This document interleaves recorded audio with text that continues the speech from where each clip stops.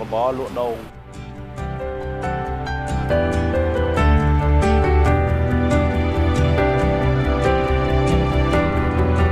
កាត់កាត់ក្បាលកាត់គូតវាអញ្ចឹងទៅហើយដល់ពេលអញ្ចឹងទៅបានយើងចោះចោះទៅវាងាយស្រួលកាប់វាផ្ដាច់ជាពីរយកសាច់ហ្នឹង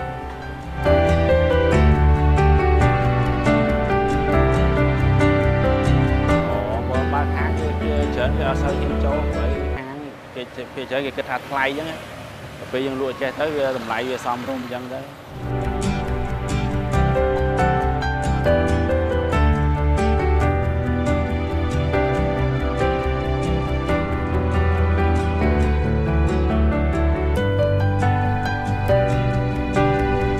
ដោយសារថវិកាផងដោយសារថាចូលតាមភោជនីយដ្ឋានមួយចំនួនវារៀងលក្ខណៈថ្លៃពេកអីចឹង